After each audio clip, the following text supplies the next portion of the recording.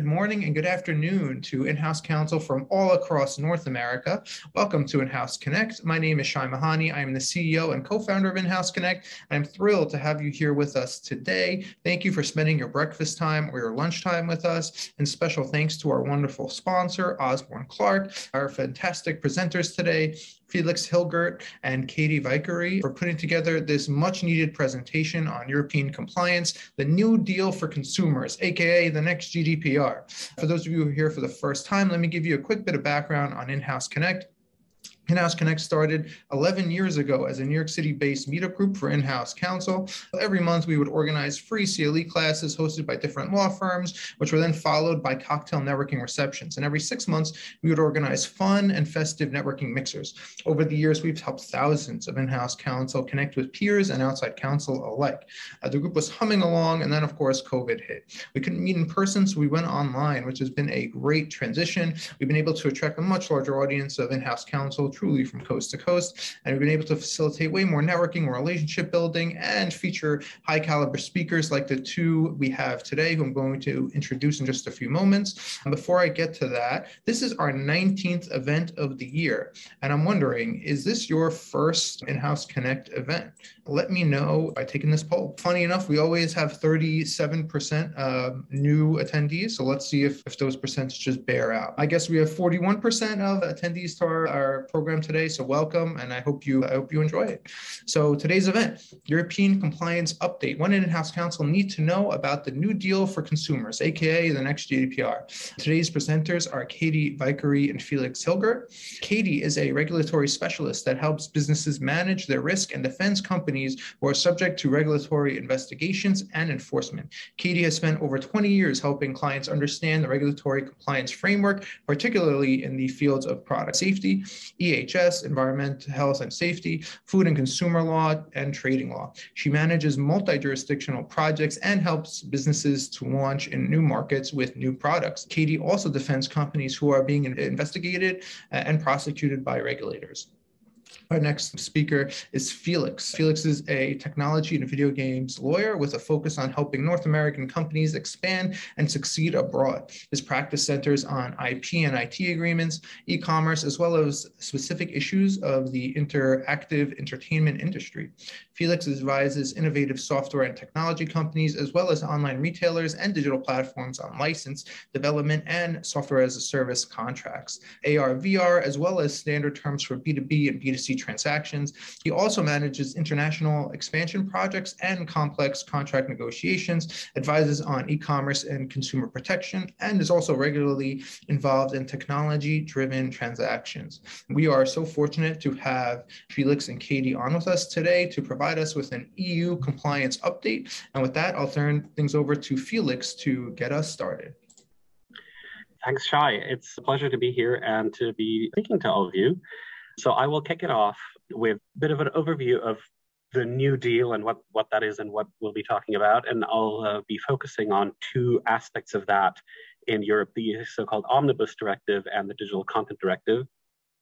Then uh, turn it over to Katie, who is going to talk about various pieces of regulation that are coming out or currently being implemented in the realm of product compliance, and that's going to be um, all, all sorts of all sorts of things, environmental and and other. And then we're going to go uh, take a look at Germany uh, because Germany is ahead of the pack for the rest of Europe, implementing some more torture instruments for companies um, selling, especially subscriptions uh, to German consumers. There are some some things to be aware of and then um, we'll have a, a, summary and a kind of an action plan and some best practices on how you deal with that when you're sitting here in, in the US and you're trying to manage and oversee um, compliance of your European operation.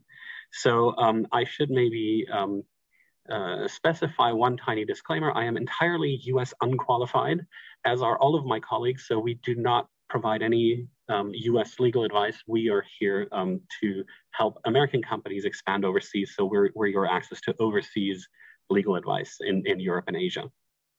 And uh, happy to talk more about that when we get to, to the networking. So feel, feel free to reach out. Um, so what is this new deal? And uh, when we announced this uh, presentation, um, sometimes we get that question like, why are you calling it the new deal? Isn't that confusing? People are gonna think you're talking about FDR. Um, it's called that because FDR, because the EU um, likes that moniker, the New Deal, and is slapping it on everything these days. So there's a new Green Deal, and there's this package of legislation called the New Deal for Consumers. They officially call it that, um, which consists of a number of legislative measures uh, that are intended to uh, strengthen consumer rights and, and enhance the enforcement of consumer rights across the European Union. Um, so there's kind of a narrow definition of it that only includes the Omnibus Directive and Representative Actions Directive. But really, when we talk about the new deal for consumers, it's those four directives um, that I have on the slide here, um, which uh, the first one's Digital Content Directive and Sale of Goods Directive. What they do is create a unified contract law for uh, contracts involving digital content and services, and obviously the sale of goods. Um, intended to make the contract law just more modern and, and adapted to things that happen when you sell things online and when you sell digital content as opposed to just just uh, physical merchandise. And then the Omnibus Directive um, is a, a, package of updates to different other directives that is kind of bringing consumer law to a, a modern uh, to a modern level. And then finally, our Christmas present this year is the Representative Actions Directive, which creates something kind of sort of like a class action in Europe. We don't have that there yet. Um, and this one is designed to avoid some of the things that people hate about class actions in the US. Um, so the most important point of that is that only registered nonprofits are going to be able to be plaintiffs here. Um, but it is intended to um, be a tool to help recover kind of tiny little pinprick damages where each consumer is screwed out of a dollar and nobody would ever go litigate for that. But a, a nonprofit can go and then come after that company and, and somehow figure out how to distribute what they what they earn. How exactly that will be implemented? So all of these are directives, so they need to be implemented by national legislation in the member states. And the representative actions directive, how exactly it'll be implemented, we don't really know yet. So um, I'll be happy to come back next year and, and talk about that. But uh, that needs to be implemented by the 27th of December this year. So uh, yeah, so right around Christmas. So what does this new deal for consumers do? It affects three phases of all consumer contracting, kind of the pre-contractual phase, the information and disclosures you have to provide, the actual mechanism of how you enter into a contract, and then the rights and obligations that come from that contract. So the Omnibus Directive um, is kind of in that pre-contractual and concluding the contract phase, and then digital content and sale of goods directives govern the actual content of that agreement that you have. Um, the Omnibus Directive talks about unfair business practices and withdrawal rights and, and, and those things. Um, digital content and sale of goods directive among other things, includes a mandatory warranty, termination provisions, and some other uh, bits and pieces that we will get into. So it covers the entire journey here. The, the uh, digital content and sale of goods directives have already been implemented. They've been enforced since uh, the beginning of the year. And for the Omnibus Directive, um, the implementation deadline is, is very soon in a month. At the end of May 2022, all of that needs to be implemented in the member states. Um, I'm not going to get into a lot of detail on this slide. This is mostly to scare you. Um, what we did here is um, we broke down a typical consumer purchase journey in a in an e-commerce setting uh, into the individual steps and requirements that are somehow associated with it. Um, and everything that's a blue box here, a light blue box, is a step of the process where this new deal for consumers will affect how it's designed and what kind of information you have to provide on. So you can see that uh, it's not a matter of you know changing out a paragraph in the terms and conditions. There's a lot more to it, which is why if um, you have an operation in Europe and you haven't thought about this, now is high time to think about it. So the Omnibus Directive, what is at stake here? What are we doing here? Um, what the EU Commission has said about this directive and this, this legislative package is what we want to do is an overhaul of consumer law to give it more teeth and bring it up to date. So it is supposed to hurt to not, to not comply with this. Um, it updates four directives, the Unfair Contract Terms Directive, the Price Indication Directive, uh, Unfair Commercial Practices Directive and the Consumer Rights Directive itself. So you can already guess from the from the titles what kinds of things are going to be affected. So um, there's going to be regulation on um, what you are allowed to put in terms and conditions. There are going to be rules about how you communicate your pricing. Um, unfair commercial practices directive is a general, I mean, the, the general kind of purpose of that is to say you cannot mislead consumers, whether that's by lying to them or by omitting something or, or putting pressure on them. Um, and that will get updated with, with, a few, uh, with a few specifics. And then the Consumer Rights Directive is if you're already dealing in Europe, you have heard of this, is where the withdrawal rights sit. So consumer buys anything online, they generally have 14 days to change their mind and give it back for a full refund, um, including uh, digital services and digital content. There are some exceptions there. So you can get out of having to refund someone for the movie they just paid to watch and then watched and said, oh, now I don't want it anymore. Um, but you have to implement it correctly. And this uh, Consumer Rights Directive is also getting an update um, because certain things are changing that it needs to it needs to reflect. So why am I, why do I keep saying and why do we keep saying that this is the new GDPR? Well, just like the GDPR, much of what this does is not new. It's tiny updates, it's details, but non-compliance is getting a lot more expensive. That was exactly the same thing with GDPR. And the European Union has understood that when they wave a 4% fine in your face, then Americans start paying attention. So um, the, the kind of most important and most scary bit of the Omnibus Directive is that now not complying with these requirements of having fair consumer terms and having non-misleading price statements and having all the mandatory disclosures. Um, if you don't do it, there have to be what the directive calls effective, proportionate, and dissuasive sanctions. Um, for widespread infringements or something that's called widespread infringements with a pan-European dimension. And what that essentially means is if it affects three or more member states. But if you're going to sell your product in the EU, it's very hard to not sell it in three or more member states because you're not going to just go and say this is going to be only available in Belgium, Italy, and Malta. Um, you're usually going to go after a, a, handful of markets, and then you're you're you're easily going to be in that. Those sanctions, so that they are effective, proportionate, and dissuasive, um, need to take into account things like the I mean, that is not super helpful, but nature, gravity, extent, and duration of the infringement, um, whether it's repeated, and whether you made a lot of money doing it. So um, those sample criteria, we expect that um, authorities and regulators are going to put some thought into some guidance and a framework how to apply that and, and we'll provide some examples and, and guidelines how it's going to happen. That's the same thing that happened with GDPR where, where um, large, um, thick documents were produced to explain how our fines assessed and calculated.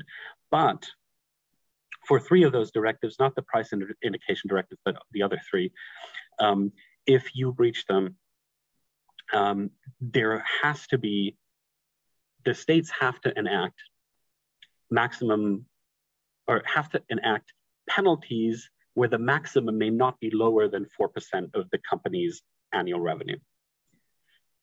Now, quick sidebar, all of this does not apply in the UK automatically because of course they're no longer part of the European Union. But the UK has already started consultations on implementing something that's going to be very similar and modeled on this, except that they're not going for 4%, they're going for 10%. So non-compliance in the UK is also going to be um, very expensive. They're a little bit behind on this. So this is not going to, in the UK, it's not going to kick in uh, just yet. But in, in within Europe, uh, we have this starting in May. So as the, in the words of the EU Commission, consumer authorities will get teeth to punish the cheaters. It cannot be cheap to cheat. Um, that's the whole, that's the whole thing. So what is new in terms of content that we didn't have before in this new deal? Um, there is a new concept of paying with data. So a lot of the consumer protection provisions that we have in European consumer protection law right now apply to contracts, B2C contracts where the consumer pays for something. They don't so far, or they, they didn't used to apply to contracts where the consumer ostensibly got something for free. Um, they could use a social network for free or an online game for free. Um, because in the background, somebody was looking at all the data and how they were interacting and then doing something with that information they were collecting. But there was no withdrawal right, there were no information obligations, there were no mandatory warranties for all of the stuff that consumers got for free. Now we have this concept of paying with data that is going to mean that a lot of contracts that we thought were free are no longer free, uh, which means that all of these information obligations and right of withdrawal and all that stuff kicks in. Now, you might say, well, I don't care if someone withdraws necessarily, they're not paying me anyways, and they gave me the data already. But you do have to stop doing anything with that data if they withdraw. So, and, and also if you don't comply with the information obligations, that could put you in breach, and then um, we, we have those fines to kick in.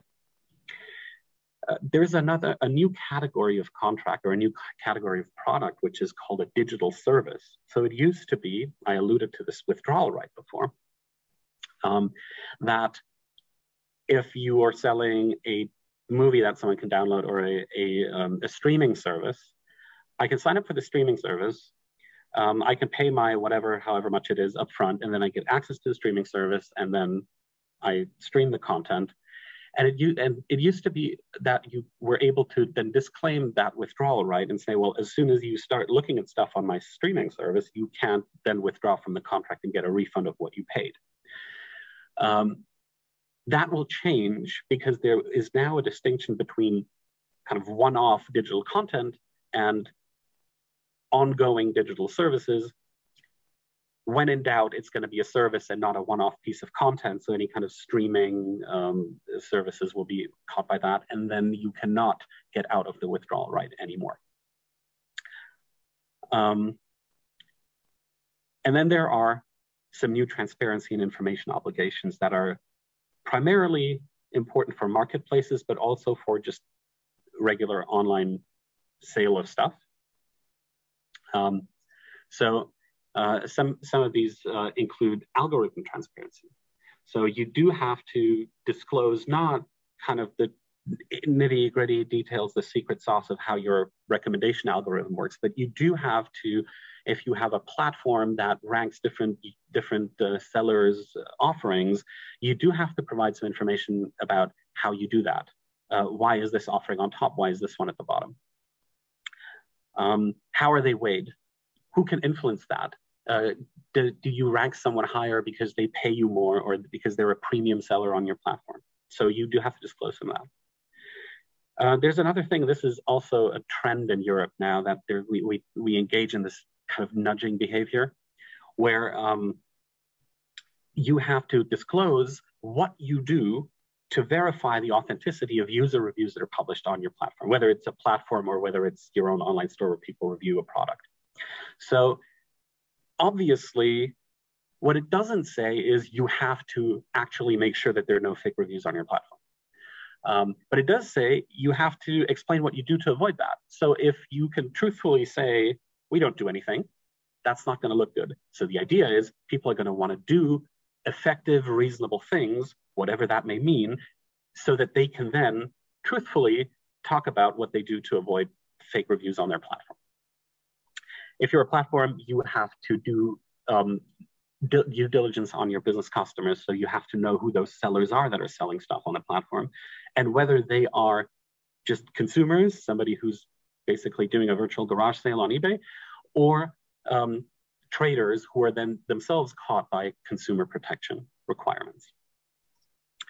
You have to disclose more information about product features than before. So um, obviously it, it, has always been the rule that you have to describe your product truthfully, um, and then certain things were always considered misleading behavior if you created the impression that your product can do a certain thing, but in fact it can't, or if you outright lie about something that was always illegal. But now there, there's a, a list of additional things that need to be disclosed, like um, interoperability and functionality of digital contents and goods with digital elements. Goods with digital elements are essentially all kinds of smart products that require some kind of digital, um, some software or cloud service so that they function to the full of their, uh, of their um, capacity. So you have to now say with what kinds of operating systems your product is compatible or whether it needs a companion app and all that needs to be clearly marked in, in any product offering. Um, pricing details. This is a complicated one um, because there are so many differences between how the various member states actually implement um, the price indication directive. There, that one leaves a lot of, uh, of maneuvering room for the member states. So you have, if you want to advertise with a price where you cross off something and you say was 10 is now five, um, you can only do that if you actually did charge 10 for a certain amount of time. Um, you have to uh, you have to inform people whether there is a personalized price some, somewhere and how you get to that personalized price. Um, and also, if there's no price in money, does that actually mean it's free or is there some kind of payment by data associated with that product? And then some contact information. So lots of things that need to be disclosed. Next on, the other one I did want to focus on here is the digital content directive that creates this new contract law for digital content and services. Um, because that contains a lot of things that may also feel a little bit unusual to, um, to Americans and to the way that usually terms and conditions for digital products and services are, are drafted in, in the US. Basically, what they always say is, here's the product. If you don't like it, maybe you can get a refund, but you have 90 days for that. And um, otherwise, you have no rights.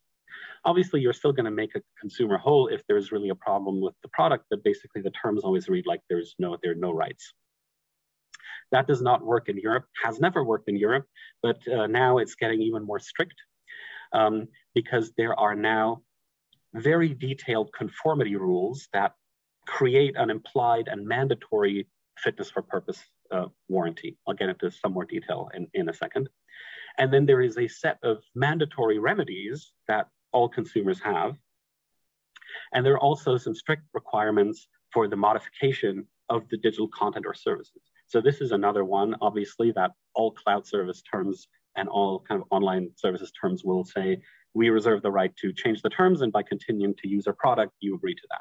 Doesn't fly in Europe, never flew, now even less, but now it doesn't fly, and there's a 4% fine attached to it. Um, there is now, however, um, a possibility to have a clause in your in your terms that allows you to change the product a little bit, but only if there is a legitimate reason for that.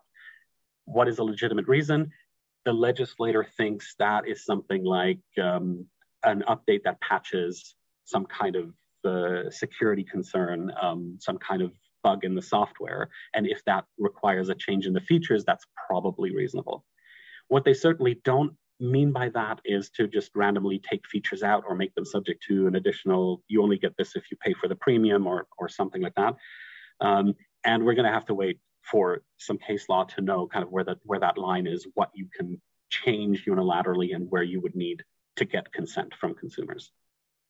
And all of this, again, applies not just for contracts where someone pays you money, but also applies to contracts where someone allows you to use their data. So what is that paying with data? What does that actually mean? Um, the, it, is, it is very unclear how personal data is going to be treated as consideration because it's something that you cannot easily refund or give back or even put a price tag on it. Um, but the core element here is if you consent or commit to consent to a uh, to a trader that when you use their product, or their digital content, digital service, they can take personal data, collect it, and do something with it in a way that's not required for the provision of the service or the, the administration of the contract, then that's considered like paying, and it's a it is then a paid consumer contract. Um, there are some open issues around that. Like if I provide data to someone, is that already an offer to enter into the contract? Each member state has a different interpretation of that. So it, it's worth looking at that kind of on a, at least in the key markets, on a state by state basis. Um, how do I provide pre-contractual information if I don't yet know that someone's going to give me data? They've just put it into some some data field. Um, there's going to be some some figuring out that uh, that has to happen. Um, especially, um, I know that a lot of uh, in a lot of American services, you'll have some terms that say by visiting the website you agree to these terms. Again, not something that works in in in Germany or in broader in Europe. So what happens if by someone coming on the website, they already, you already collect some data from them, are you already in a contract with them? So this is one to, to be watched where a lot of contours are still gonna have to be determined by, by case law. And then I've, I've talked about the digital content and services distinction. So digital content, the definition is data created and delivered in a digital form, um, which is obviously super, super broad. And you would think everything is that. But then you have digital services um, that uh, are kind of more specific and anything that could be a service is going to be a service when in doubt. So now we are in a paid contract for digital content and digital services, and we have these mandatory warranty rights. What does that actually mean? So there are some subjective conformity requirements. That means that your digital content and services must basically do what you promised they would do.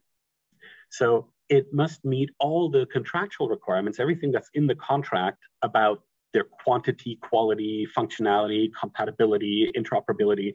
And remember, all of those are mandatory pieces of information that you have to provide. So you can't you can't really go and say, well, um, my product is going to be compatible with lots of things, but I prefer not to say what it's compatible with because then if I overpromise, I'm on the hook.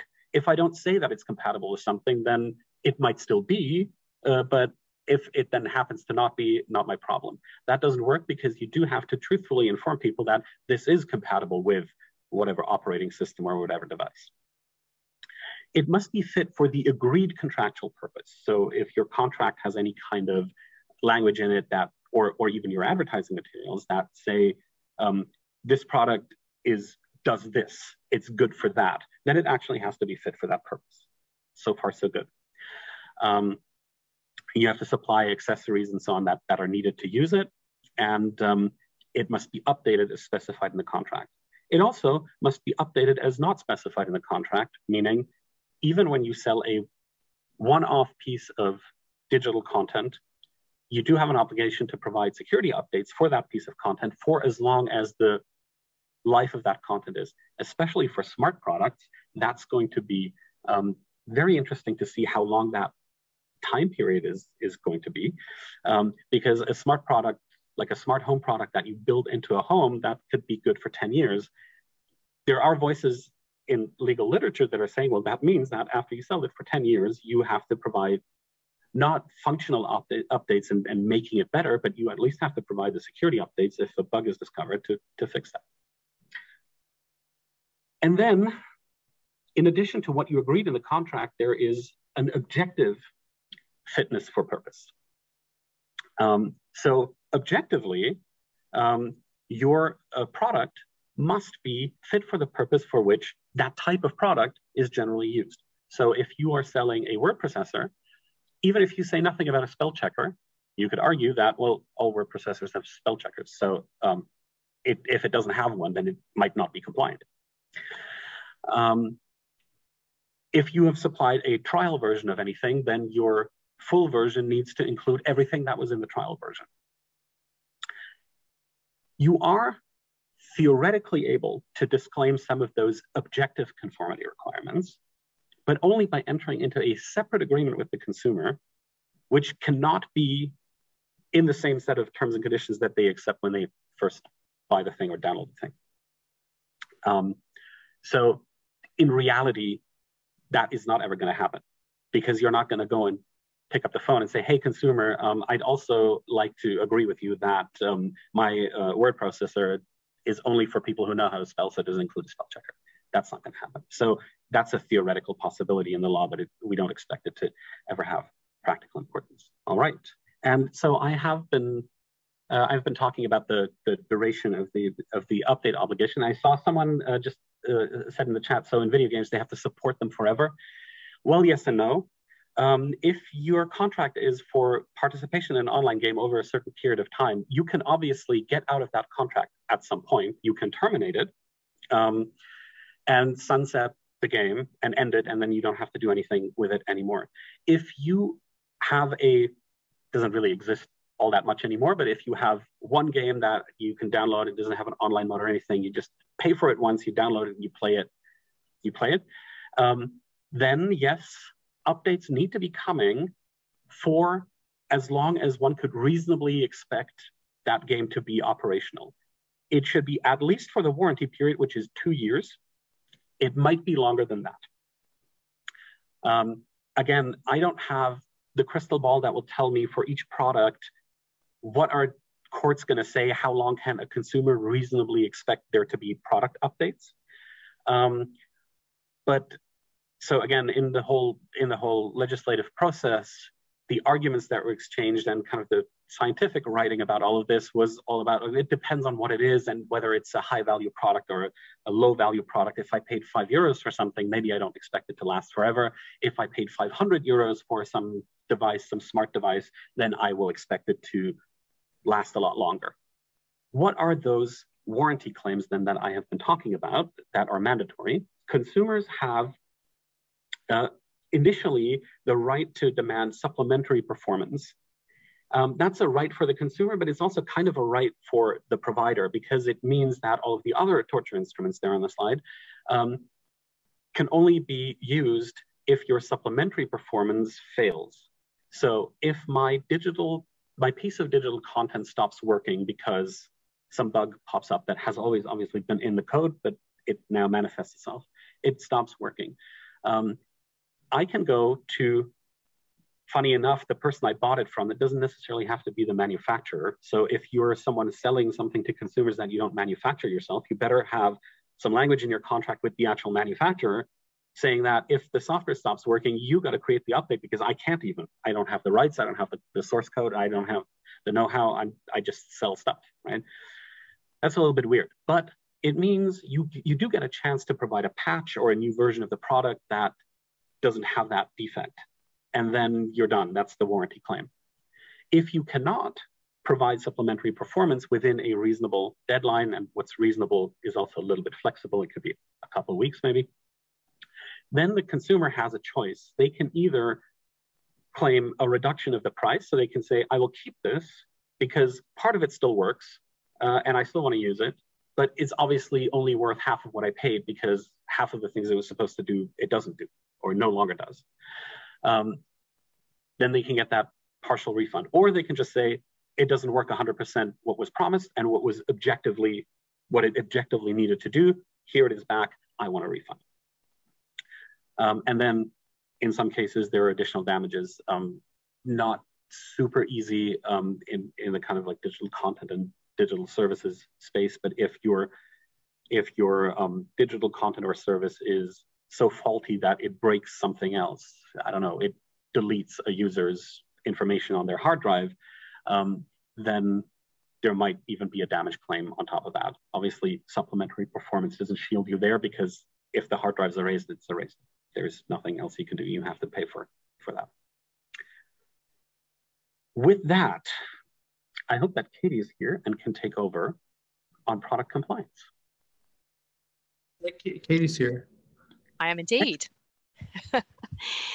Thank you very much. And uh, sorry, everybody, that I wasn't with you right at, at, at the start. Uh, for those of you who've been to the uh, UK, you'll know that the M25, which is the big uh, motorway that goes around London, is uh, known as a car park, and that's what um, unfortunately foxed me to get to here, uh, get to you on time. But anyway, now for something a little bit different on product compliance. And Felix has been talking to you about why the new deal for consumers is the is the sort of new GDPR. Well, I'm going to talk to you about product compliance, which is going to be the new new deal for consumers. So um, we're we're moving on to the the kind of next big thing. So there's quite a lot of um, horizon scanning that uh, is going to be happening here, and just looking ahead at what's coming in at both an EU and a UK level. And this will really affect you if you um, if you put any kind of physical product onto the market, uh, either as a brand owner or you've got entities that exist in the UK or Europe, this will affect you in terms of the of obligations that are going to apply to you and you're going to need to start thinking about. So why is product law changing? Well, product law is changing really to, to deal with the green and the sort of sustainability issues that go around the consumption of resources for making products. And that's driving legislative reform both in the EU and the UK. And it, what the European Commission has come out and said is look, without some sort of policy intervention taking place here, by 2050, the world population will be consuming um, resources at a rate three times higher than the Earth can replenish. So, in other words, we'll be utilizing resources as if we had three planet Earths as opposed to planet just one planet. And at the same time, the amount of waste that we're going to produce is expected to increase by 70% by 2050. So that's clearly not sustainable. And what has happened within Europe is there's a, a, plan, and Felix touched a little bit on something called the the, the Green Deal. Um, that part of that is something called the circular economy action plan. And what what that said within europe is we need to have some kind of sustainability initiative here around products. And um, what that initiative is going to address is this throwaway culture as my uh, slide is showing. And then to try and bring together don't worry, Felix, that's fine. And then try to bring together uh, legislation, which at the moment is very piecemeal, and just to make it far more comprehensive and and sort of collected. And it's also really about ensuring that there's far more reliable information about the sustainability of products that's available to people within the supply chain so that there can be far more informed choice, not just from consumers, but also um, from distributors and retailers to be able to choose products that, that are greener and are meeting some of these um, legislative changes. So um, what I'm planning to look at are kind of three main um, principles or three main changes that are, that are coming in. Uh, looking at eco design, looking at the right to repair, and looking at something called extended producer responsibility. So let's just um, start with eco design, please, Felix. So eco design, let's start with the position in the EU. Now, we already at the moment have an eco design directive. So if you have, if you're somebody that uh, involved in any way in electronic products, then you'll already be familiar with, with eco design. But what we have got at the moment is a, is a consultation to really extend out um, eco design into further products.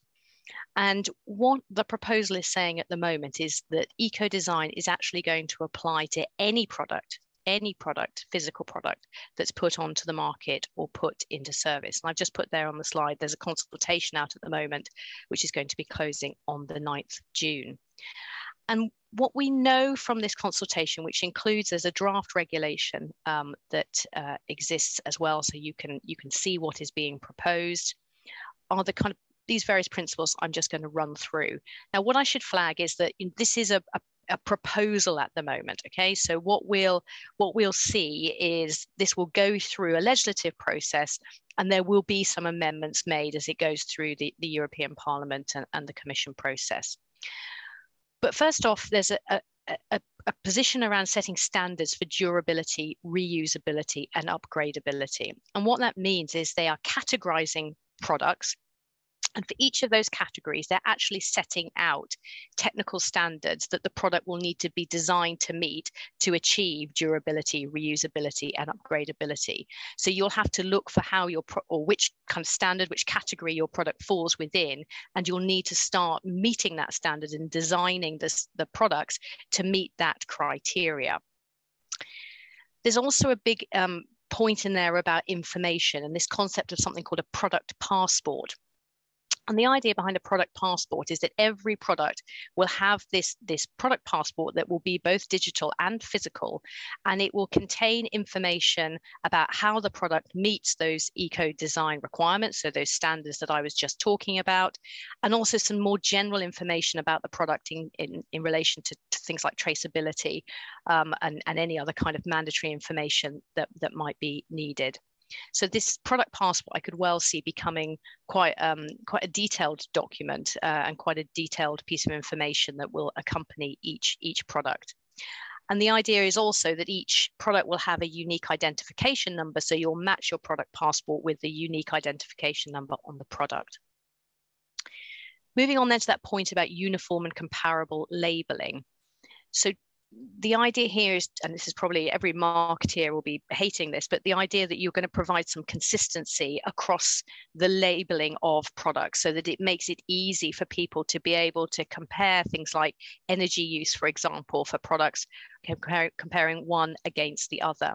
And that information is not only going to have to go onto the onto the product packaging, but would also be displayed online as well there's also a push there to try and um, disincentivize people from destroying unsold consumer products. And the way they're purporting to do that is to, to place an information requirement on companies. So you'll actually have to publish data each year explaining um, the quantity of product that you've uh, that you've had to disclose and what uh, sorry to destroy and why it is that you've had to destroy it. So they're really trying to reduce the number of unsold consumer products that are simply uh, put into to landfill. Now, these proposed obligations will apply to all economic operators uh, in the supply chain, including online marketplaces, which has been um, quite controversial, but is very much uh, the mood music to, to bring obligations um, onto online marketplaces as well. But your obligation will be commensurate with your role. So, as a manufacturer, clearly you're going to have a much bigger responsibility in terms of design than, than somebody further down the chain. But even if you're a distributor, there'll still be obligations on you to actually verify that the products that you're selling meet some of these criteria. So there's still a verification obligation, even if they're if you're not primarily responsible for, for the design. So that's what's happening from an eco um, design perspective. Let's just move to the position in the UK, Felix, with the with the next slide. Now, we do already have uh, an eco design regulation that came in and actually started applying to products from the 1st of July um, of last year. But this is limited to certain white goods predominantly. And like you can see there on the slides, I've listed them out. Uh, it's very similar to some of the proposals that are being talked about in Europe, but the UK's eco design regulations also include this concept of a right to repair, which I will come and talk on a, little bit more on uh, in relation to the EU. So the idea of the right to repair there is that you you have to incorporate into your design the ability to repair the product as opposed to simply throwing it away. And you also have to make spare parts available, and you have to actually make these spare parts available for a minimum of seven to ten years after the last model of whatever your product is, has gone onto the market. And also the ability for people to make repairs has to be easy. So the, the legislation says you it has to be a repair that a professional repairer could could could make with some commonly available tools is, is the phrase. So just making it much easier for people to get these products fixed. I flagged up there as well, just specifically for energy related products, that there is some further consultation taking place there. So this will extend out some some of those standards I was um, talking about at the moment i've said there's white goods but there's also some further products that are going to be uh, incorporated into this concept of eco design. So things like lighting products um, commercial refrigerators servers and other things are coming into that. So it's just a flag in case that is part of your world. So eco design, so the kind of key point to get from that is look if you're putting if you're doing physical products it's all now about making products that are going to last and really thinking about that in how you're you're manufacturing and designing your products so let's just move to the right to repair um, please felix which is the next one so I explained there that for the UK, the right to repair is incorporated within that eco design um, regulation. But the European Commission has also outlined plans to establish this right to repair. And this will be produced in separate legislation. So UK, we've combined the legislation. EU are keeping eco-design and right to repair separate at, um, at the moment. And there was a consultation that um, closed at the beginning of this month, and we're expecting some draft legislation to arrive around the third quarter of this year. So what, what, what are we flagging here? Well, really there is already if you if you're a consumer in the EU and you've got a faulty product, then you already have um, a right to, um, to not necessarily to have a right to repair, but a right to to get some kind of reparation, if you like, from the manufacturer if there was a defect in the product at the time of delivery and it becomes apparent within the legal warranty period. What is being proposed now is that this right of repair is going to apply more broadly. And actually, they're looking at it applying whenever there's just simply been some wear and tear to the product. So if there's been wear and tear or it's been mishandled within a, a, certain defined period of time, then actually there is going to be a right for the consumer to say, well, I want to have my product repaired rather than have it simply replaced, for example, or to have compensation. Now, we don't know which categories of products this is going to apply to. It may apply to all, it may only apply to certain categories. At the moment, what the EU is saying is that certainly consumer products and electronics are likely to be amongst these, but we don't know the full extent of this um, at the moment.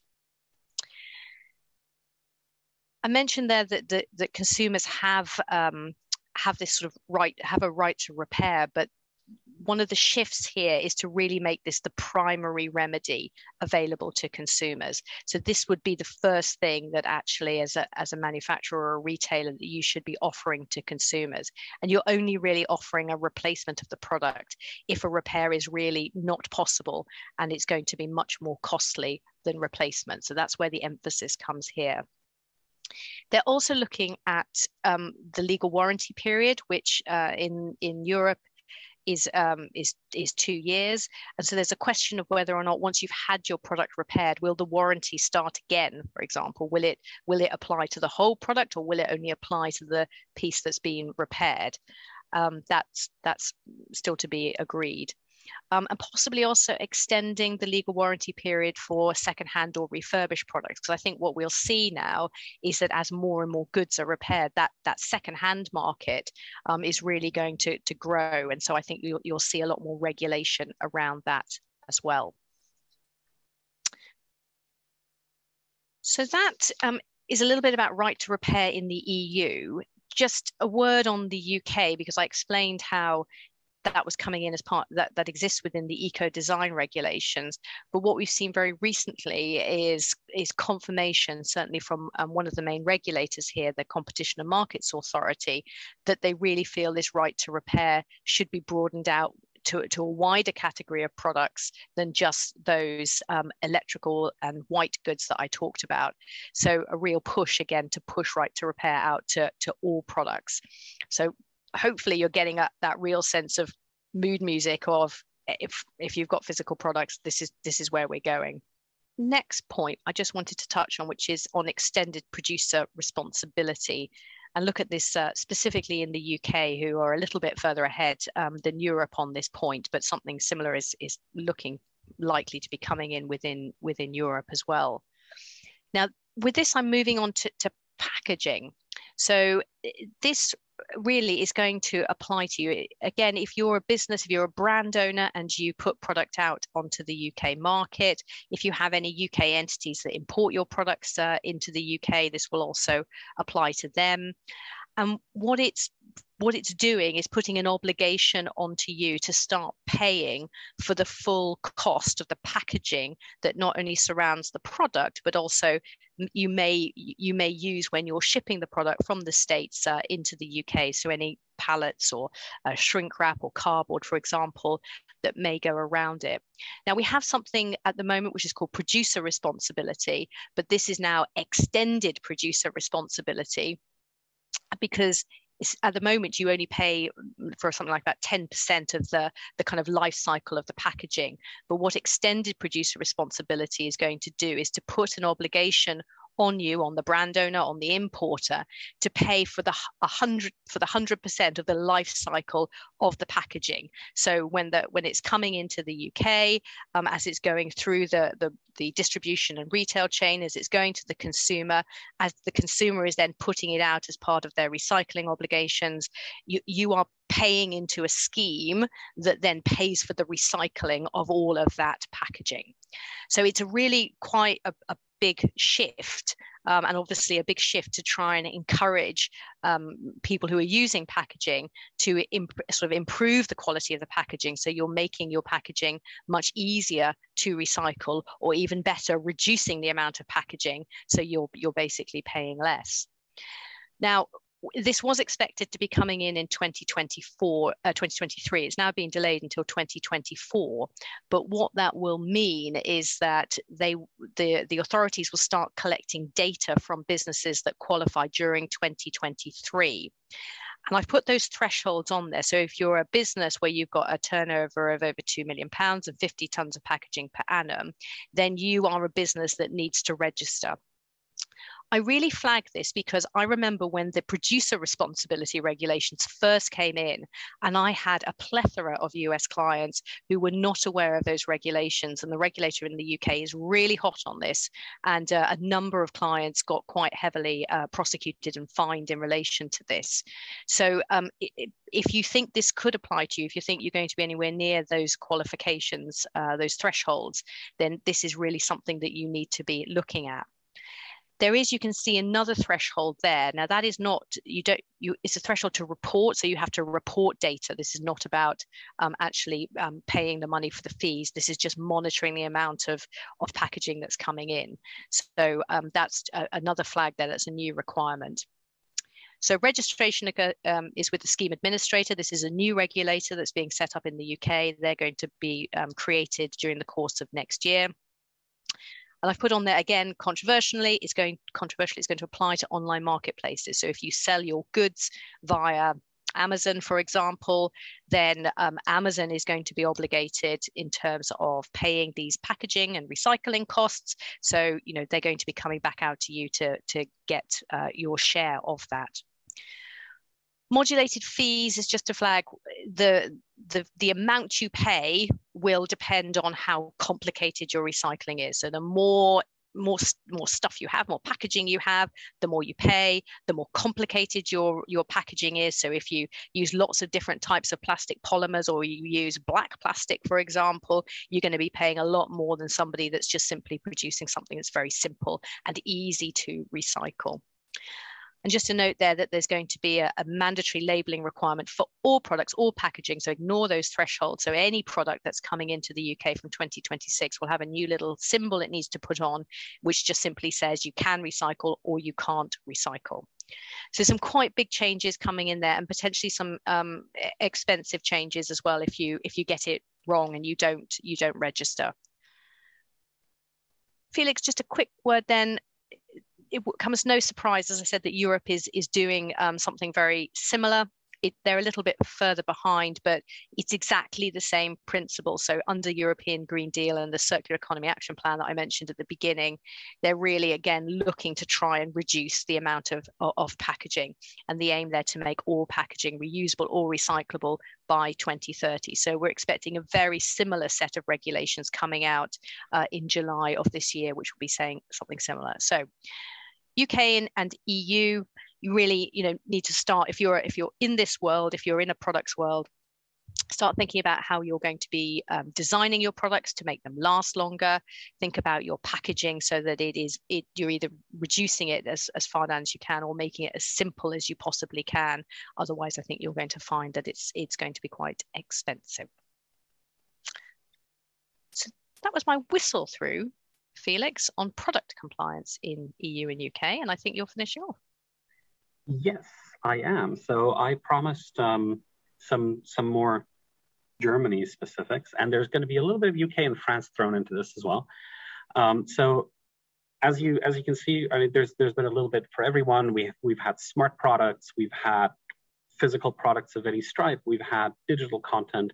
Um, now I'm going to talk a little bit about something called the German Fair Consumer Contracts Act. Um, which specifically applies to subscriptions.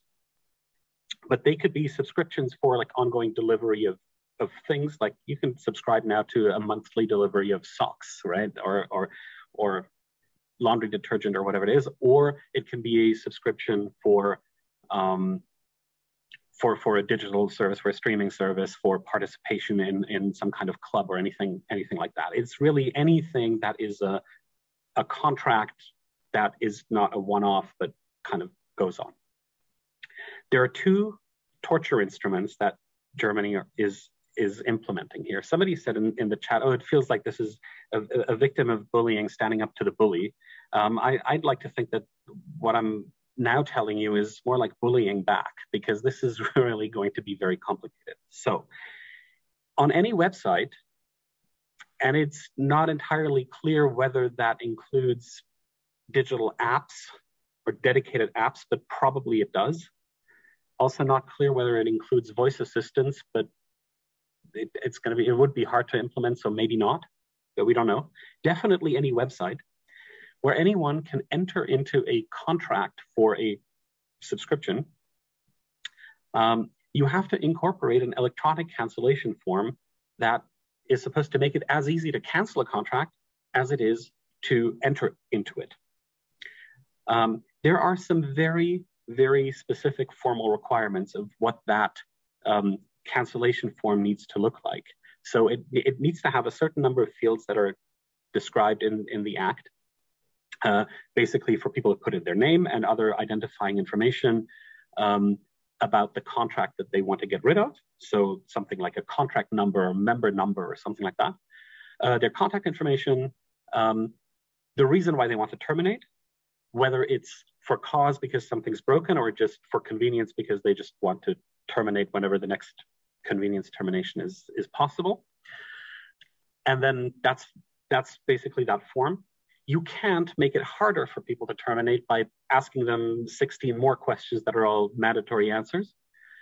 You can, importantly, you can't force them to log in or to go into a user account to actually access this. It has to be just like your privacy policy and your mandatory contact information, all that stuff that you usually see in the footer of a website. That's where this needs to go. And then at the end of that, it needs to have a button that says terminate now if you don't implement that exactly in the way that the legislator would like you to, you're in breach of consumer law, but because this only applies in Germany, you, you can't have a three member state infringement. So you, you're not looking at those 4% fines most likely, um, but you are looking at um, non-compliance and, and there can be smaller fines in, in Germany and consumer groups can send you a cease and desist. But also, and this is the more painful one, and I realize I shouldn't have put that on the slide because you all know what's coming now. If you don't implement that, then consumers can terminate at any time. So even if you thought you locked them into a one year subscription, if you don't have this implemented the right way, they can come after half a year and say, I'm gone, I'm out, I don't want this anymore. And they can claim a refund of half their money, right? So cancellation button, that applies to any website, everything as of the 1st of June. So if you're selling anything in Europe, any subscriptions, and you haven't thought about that cancellation button, now would be a very good time uh, to talk to your engineers and possibly reach out to me after that. And I can, I have some more detailed materials on what that button needs to look like. That's the one thing. The other thing that's also scary is that we now have limits on auto renewal clauses. So like here, um, it was always standard practice to have a one year auto renewing subscription to things. So you sign up for a year, and after after that year, unless you say I don't want it anymore in time, that renews for the next year and the next year and the next year. Of course, the consequence of that is if you miss the deadline, then you're stuck for another year with a contract that maybe you don't need anymore, you a service you're not using anymore or whatever to limit that risk for consumers, there is a new law that now that applies for all contracts that are newly formed on or after the 1st of March. It doesn't touch contracts that you had before. So if I signed up for a one-year auto-renewing subscription on the 1st of January, um, it will auto-renew until someone terminates it for fixed one year periods. That will still stay in place. But if I sign up for it now, I can still sign up for up to two years as an initial term. That's the maximum that's permitted. Market standard is to not do two years other than for cell phones, where you actually basically give people a phone. Everything else is generally a one year subscription. But then um, auto renewal is only valid if it is for an indefinite amount of time with a maximum one month notice period. It's not technically exactly the same thing as month to month, but it's almost the same thing. So it means that after the first year, everything just continues, but the consumer can get out of the uh, out of the contract with a maximum of a one month notice period. You can go shorter if you want, um, but you can't go longer than that. So nobody is going to be stuck in a contract after the initial term for longer than a month ever. That, and again, all of this is only in B2C, so only um, businesses transacting with consumers, and it's only for paid agreements. But as we have learned, paid also means giving people data. If your terms do not reflect this mechanism, then what that means is the actual automatic renewal doesn't take place because the clause that operates the automatic renewal is unenforceable, which would then mean that after a certain amount of time, a consumer could come back and say, hey, actually, this contract never actually renewed, so I want my money back. Um, if someone has been a power user of your service and then says they want their money back, maybe there's an unjust enrichment argument to be made. Maybe. I wouldn't I wouldn't bet the company on it. But certainly for someone that is a more or less a dormant user, they signed up for something, they keep paying 15 euros for it every year. It comes out of their credit card. They don't even, or their bank account, they don't even notice, but they haven't used the service in forever. Um, of course, they could come back at some point and say, for the last three years, this has been auto renewing, but in fact, um, it's not that that wasn't valid. So I want that money back. And of course, if one person does that and talks about it on the internet, you're going to get a lot of other dormant users that are going to want their money back. So this is another probably important one to implement. Um, so these two last things that I was talking about, this is Germany only for the time being. But in terms of these auto renewal mechanisms, um, there are some similar concepts in other European jurisdictions. So in France, for example, you are obliged to inform people before their contracts auto renew in time so that they have time to say, oh, no, actually, no, I don't need it anymore.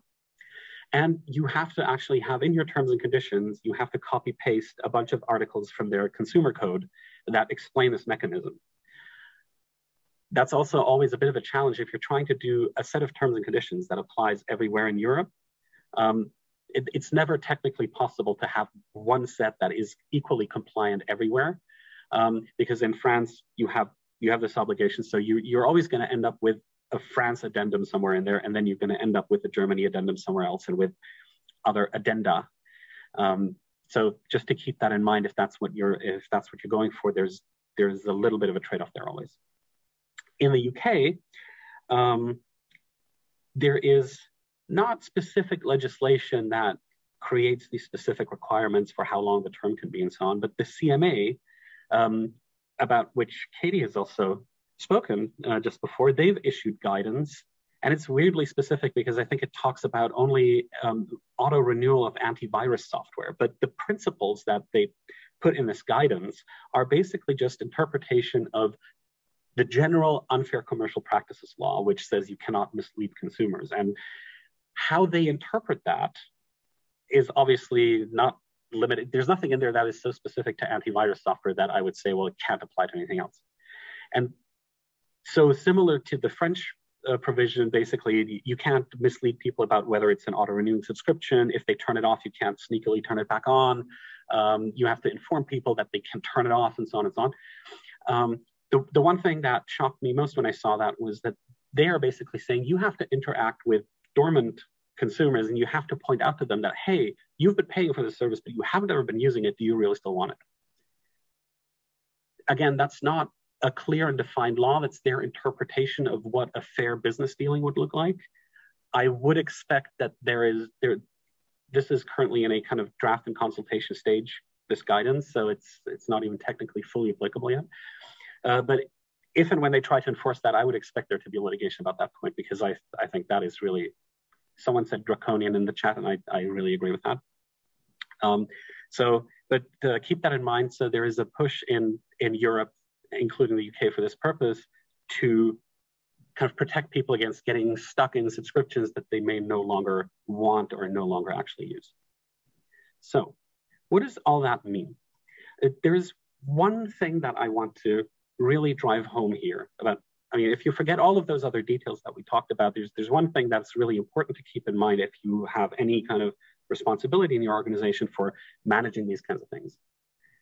Compliance with European consumer regulation and generally European regulation is never ever a matter of putting the right language in your terms and conditions. That's one part of it, but it's that that is never all. It it never works like oh we just have to use the right magic wording it's there are mandatory disclosures and some of them you have a very clear and rigid corset of language that you have to use and if you don't you do it at your own risk and, and you will get censored um, but it's one of those cons. you also need to make sure someone was we were talking in the chat um, uh, briefly about um, claims that you make in your advertising versus what's actually in the terms. Well, guess what? If your advertising promises more than what your contract says, you're still stuck with what your advertising said. Um, obviously, when you think about things like having a cancellation button, not only do you have to put that on your website, so somebody needs to put that in the sales UI, but also it needs to do things on the back end. So it you there needs to be a confirmation email, and then you actually need to let that customer out of their contract right? So the backend process must be in there. And of course, your product itself must reflect certain things like must be repairable, must you must be able to maybe take it apart to access certain things in the in the inside of the product. And your privacy practices must of course comply with what it what you're saying in the privacy policy, but also your privacy policy must say what your practices actually are, and those must be legal. So um, all of these things kind of all are, are intertwined, meaning it's really important to get all these different stakeholders on board if you're working on these compliance projects. Um, get them all on board early and make sure everyone's on the same page and they know what it is and understand what it is they have to do. Before we go to Q&A, I just want to thank Katie and Felix for delivering an awesome presentation. I mean, I hope I personally hope all these all these measures stay in the EU. Don't come to don't come to America. So it's really interesting to hear. I, I like to visit the EU, but you know, I'm not going to move there. But anyways, or maybe I should because uh, there's a lot of great protections for consumers. So a couple of things. The uh, the email to get the slides is info as in I N F O at inhouse connect connect.org. And if you thought that the program was great, please let us know in the chat. Let uh, Katie and Felix see the applause. I'm getting some some questions. So yeah, no no UK CLE credit for this. Unfortunately, only US. You're obviously welcome to apply in your jurisdiction. That's totally up to you. But we have a list of states that we are pending CLE for, and, and that's where we apply. Um, and any you know reciprocal credit that you want to apply for is, is totally up to you, obviously. So any questions, you can email info at inhouseconnect.org inhouseconnect.org or CLE at inhouseconnect.org.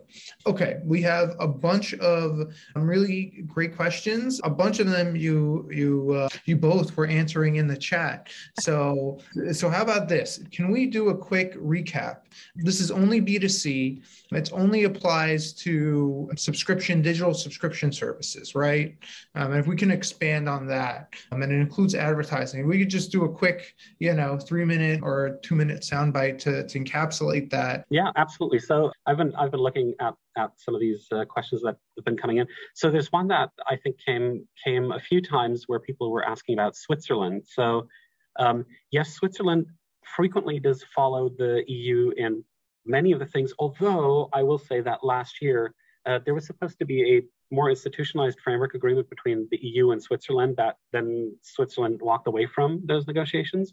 So currently, um, we're not expecting them to maybe be as closely aligned to the EU on on many of these things. I certainly am not aware of anything equivalent to the New Deal for consumers happening in Switzerland.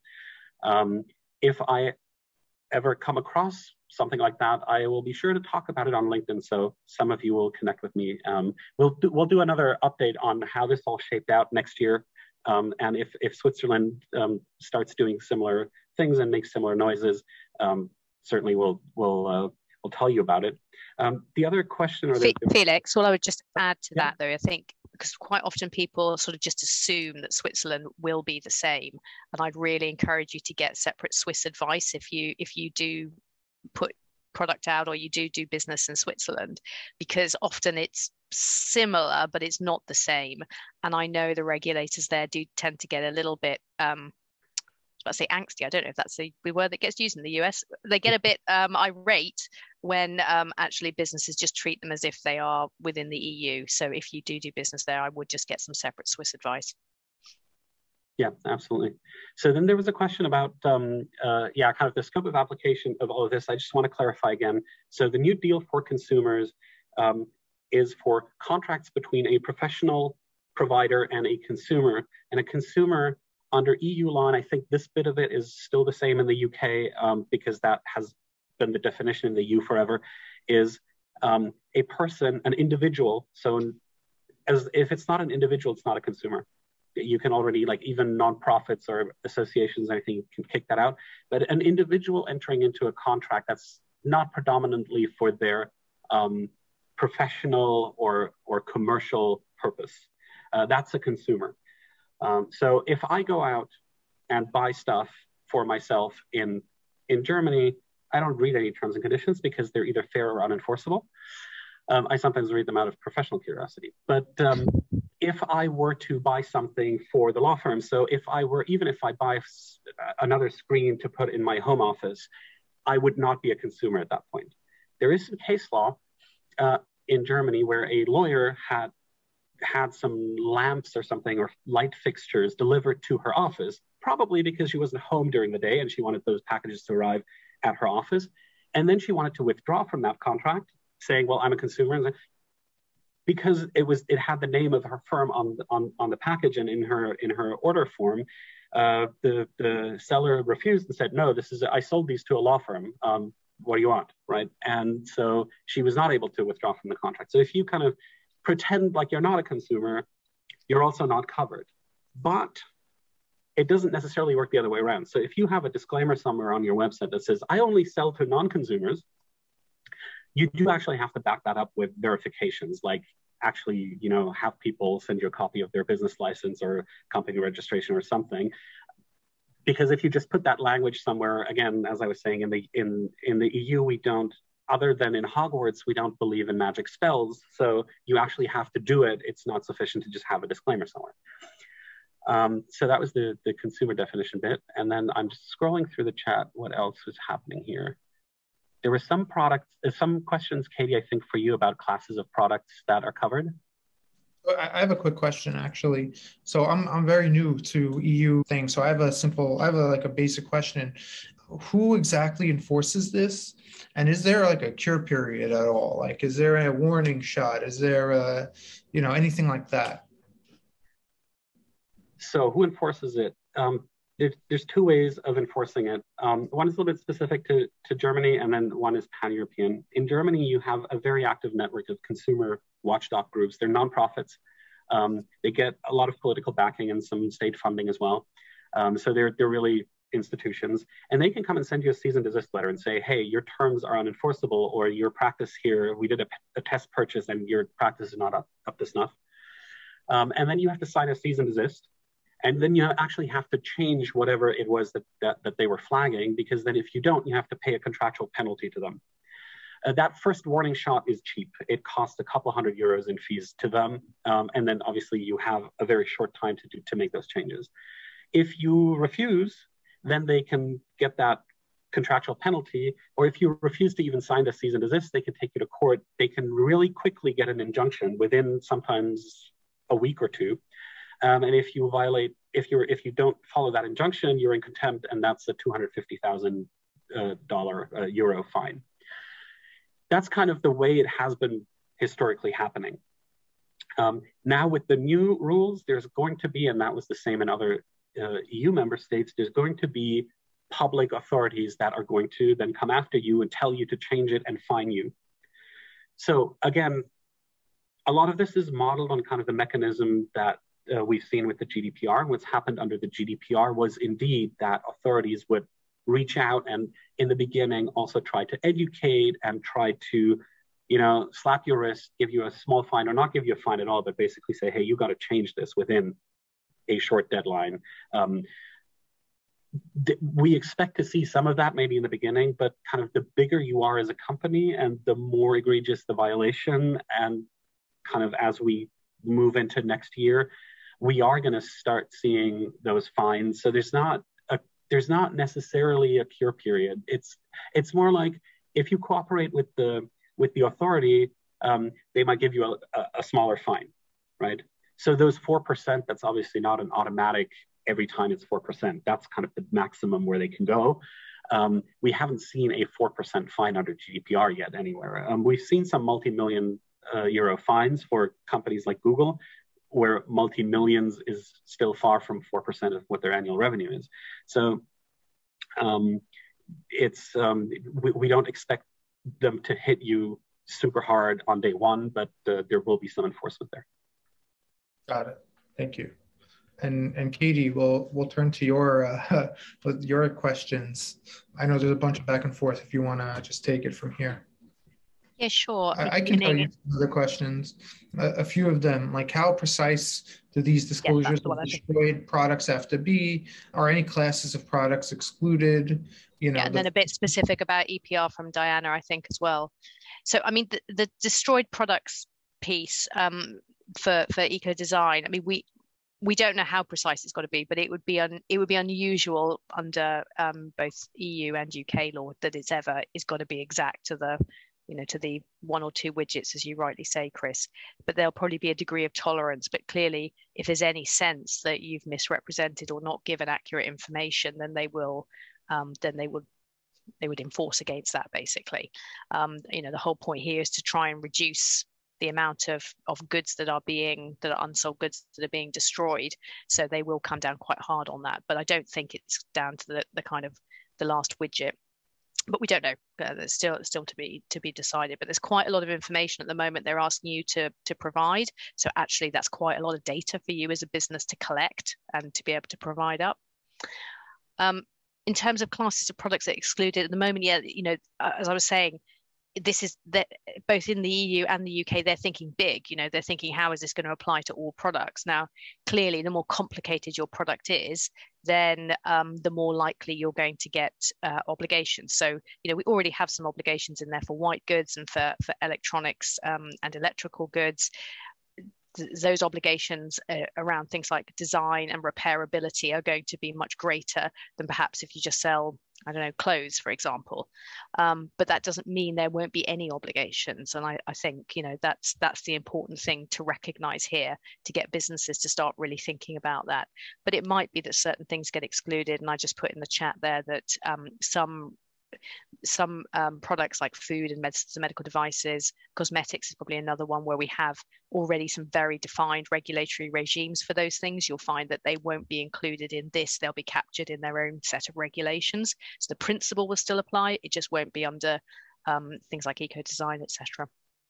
Um, and then Diana's kind of questions about just sort of explaining, I just put a little bit more there in the chat to explain about how it's practically going to work. So if you you're going to have to report uh, this is on EPR now sorry on extended producer responsibility so you're going to have to collect data that you report every 6 months on six categories of different types of of packaging so glass plastics aluminium wood paper. I can't think what all six are, but on six different categories. So you report um, the amount of packaging from the preceding six months, and then you have to you have to purchase something called PRN packaging recovery notes equivalent to the amount of packaging that's being put onto onto the UK market. Th- that's quite, something similar to that already exists. Um, it's now just being run by a different administrator. But in addition to that, you're now also having to pay for the end of the, the product. So when our local councils are going around and collecting um, household waste, so consumer waste, recycling that's going out, you now have to pay a share of that as well. Um, and that's calculated in total to be at about 1.8 billion UK pounds um, per year. So you get a sense of the scale of, in UK terms, that's a lot of money. So um, maybe not to Elon Musk, but there we are. Um, but you know that so instead of the taxpayer paying for for those services, now businesses are going to be paying councils for those services, but through a scheme administrator. And that also includes things that go into um, litter bins, so into trash cans on the street. Um, and there are some separate provisions in there as well for coffee cups. So if there's anybody on here that's in in that um, line of uh, line of business, there's a whole separate thing there about dealing with uh, disposable coffee cups. We just got another question, and, and I guess last call for questions, and then we're going to do a little bit of, uh, of networking. Is it the same requirement for products exported from the UK, or, or and I guess in general? On Sandy, do you mean on ex, on extended producer responsibility on EPR? Yes. Um, no, this is all about product that's going. This is on product going on the UK market. So you could be a you can be a brand owner sitting in in the US, but if you put your product out in the UK market, then you're caught by this. Or if you're a US business and actually you've got a a UK entity or a UK importer or distributor, they're going to be caught by this, and you're probably going to therefore have to pay for part of it. But this is all about stuff going on in the UK, not stuff coming from the UK out. that makes sense. Right. But say say if it doesn't, Sandy. All right. Awesome. Okay. Any, if there's any other, it looks like there's no other questions. Um, so I just want to thank everybody for attending.